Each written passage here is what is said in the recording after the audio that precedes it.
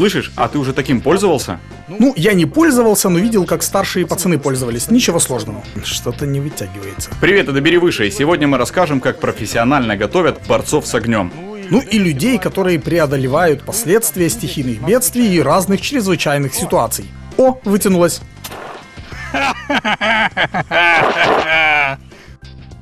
Черкасский институт пожарной безопасности имени Героев Чернобыля был основан в 1973 году. В составе института действуют три факультета, а это 13 кафедр и научно-исследовательская лаборатория инноваций в сфере гражданской безопасности. Тут учатся более 1200 курсантов и студентов и работает почти три сотни преподавателей. Институт готовит 5 бакалаврских и 4 магистрских программы.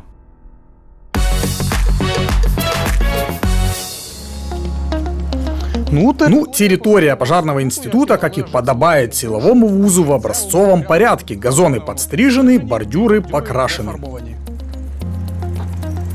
Стриже. Институт расположен в отдалении от центра Черкасы и устроен по принципу гарнизона. У гражданских это называется кампус. То есть все необходимое прямо на территории. Здесь и учебные корпуса, и спортивные площадки, и общежития.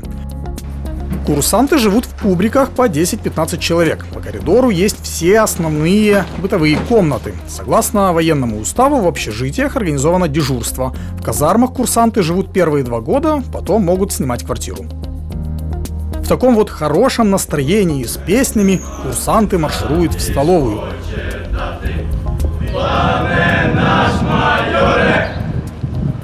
Відпустіть додому Залишив дівчину, залишив кохану, сам не знаю кому. Радуются, похоже, тому, что находятся на полном гособеспечении. Это, кроме всего прочего, означает полноценное трехразовое питание. На территории вуза есть также буфет. А еще собственная поликлиника, то есть медико-санитарная часть. Здесь работают врачи по десяткам специальностям, Операцию, может, не сделают, но поставить диагноз и обеспечить качественное лечение, пожалуйста, абсолютно бесплатно.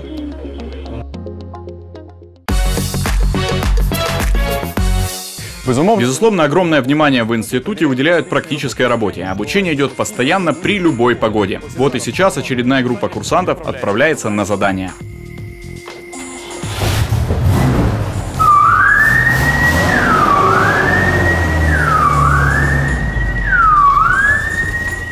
Занятия, которые помогают научиться быстро выполнять задания, которые стоят перед спасателями, всегда выглядят очень эффектно.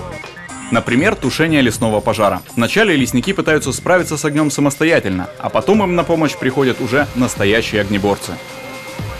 Или вот, например, инсценировка аварии на газовой скважине или на любом другом предприятии. Сложно себе представить, как бы действовали спасатели без подобных тактико-специальных учений. На учебном полигоне института отрабатывают и международные учения. В частности, совместные действия с курсантами главной школы пожарной службы Республики Польша. С ней у черкащан работает соглашение о двойном дипломе. Первые наши студенты уже учатся в Варшаве. Поляков здесь ждут уже в ближайшее время.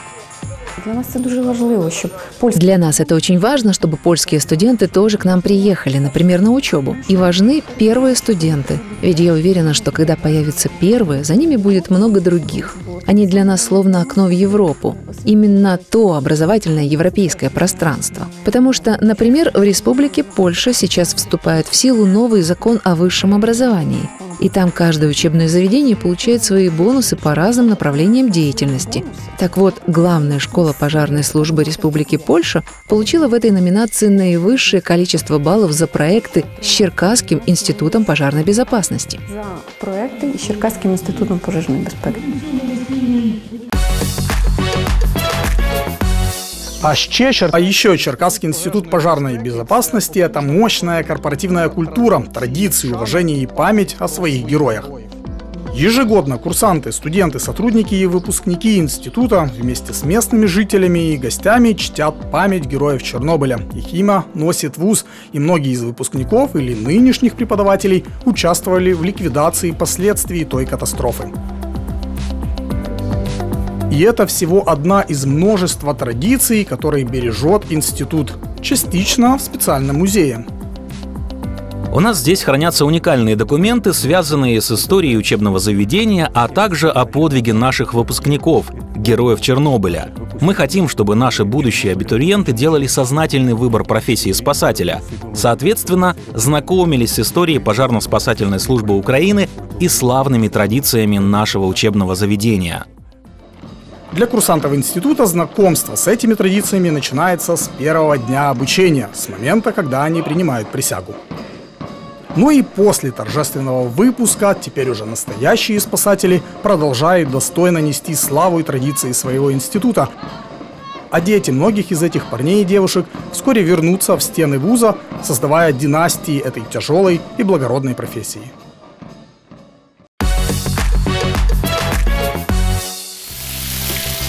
Казалось бы, вода себе и вода, а вот спасателям нужно знать о ней все. Каковы ее качества, как она движется или как она попадает в рукав.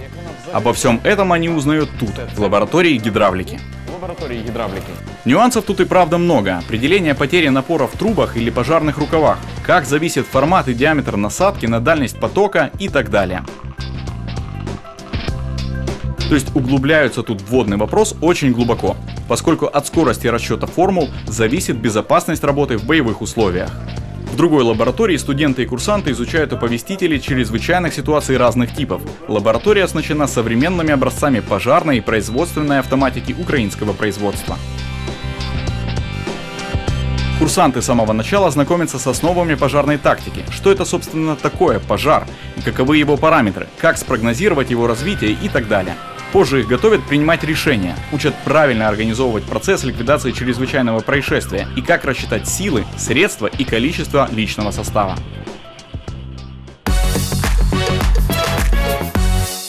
Чому саме до нас?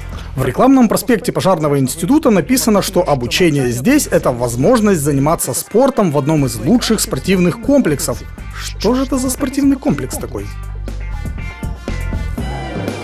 Вот он, огромный, многофункциональный и, главное, крытый спорткомплекс. Внутри строение разделено на несколько зон, а ее конструкция позволяет быстро переоборудовать эти зоны под разные виды спорта. Как результат, чем тут только не занимаются. Легкоатлетичні види, є башта для заняття. Легкоатлетические виды, есть башня для занятий пожарно-прикладным спортом. В конце зала мы можем увидеть платформы для занятий борьбой. Там складываются маты, татами. Боксерские мешки, гимнастический инвентарь, турники, брусья, тяжелоатлетический зал, снаряды для гиревого спорта, снаряды для легкой атлетики. Можно переоборудовать под мини-футбол. Есть баскетбольные кольца с площадкой. е, баскетбольні кільця з майданчиком. На территории института есть еще с десяток открытых спортивных площадок. Если же ты подаешь надежды в беге по воде со штангой или в другом несуществующем или редком спорте, обращайся. Институт найдет такую возможность. Рядом с людьми тренируются и собаки-спасатели. Смотрите, как они умеют.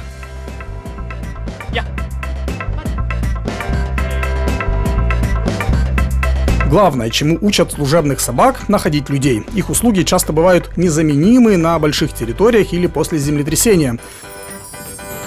Спасатели с тренированными собаками – особо ценные кадры на службе. Они без проблем трудоустраиваются и часто имеют преимущество над своими коллегами без собак.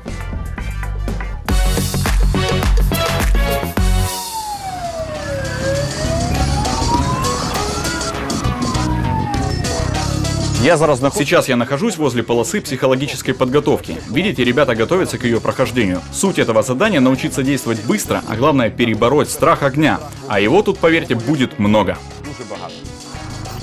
На этом отрезке полосы отрабатывают подъем личного состава с оборудованием и точность подачи воды. В целом упражнения на 9 участках полосы позволяют адаптировать огнеборцев к работе в экстремальных ситуациях. Ну вот, например, отработка действий в задымленном помещении.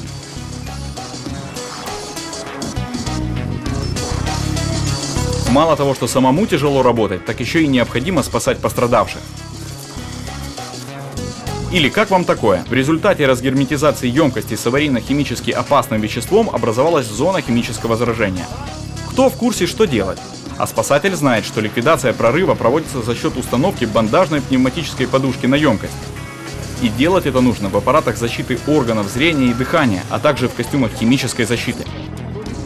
Словом, развлечения для сильных духом парней и девушек.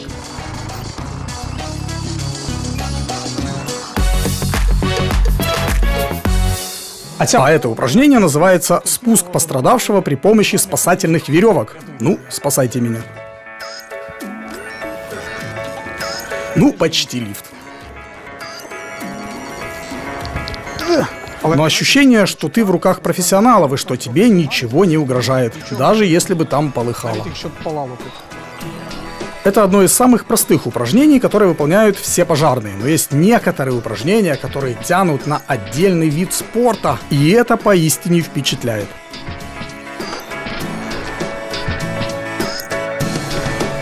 Пожарно-прикладной спорт. Слышали о таком?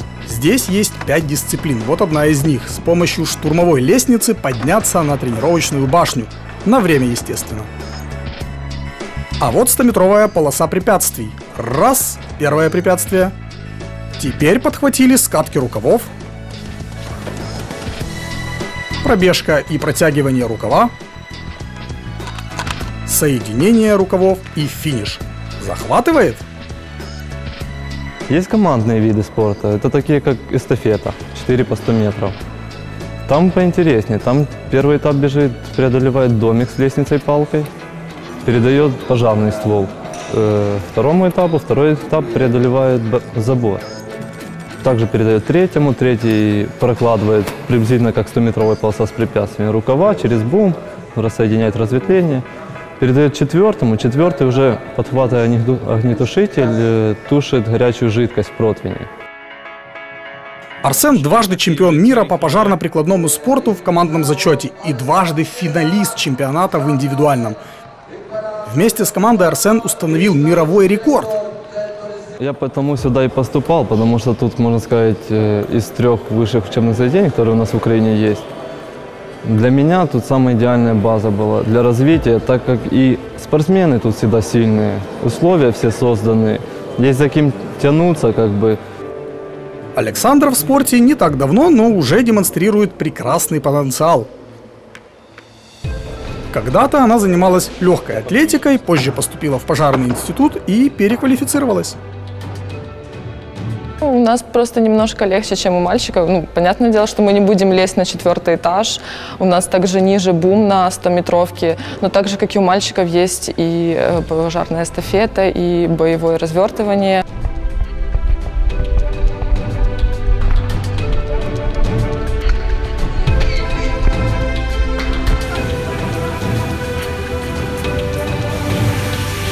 Вон туда, вон туда. Ага, вижу. Фух, фух, ну это тебе не из огнетушителя пшикать. Слышишь, я вот понял, что это работа для сильных и отважных парней и девушек, которые приходят сюда учиться. Ну это к тому же и командная работа. Разве ты сам справился бы с таким шлангом? Это рукав. Ну да, рукав. Мы были в Черкасском институте пожарной безопасности. На этом все. Пока берите выше и помните, спички это не игрушка. Берегите лес от пожаров. При пожаре звоните 101. Ну, давай, командешка.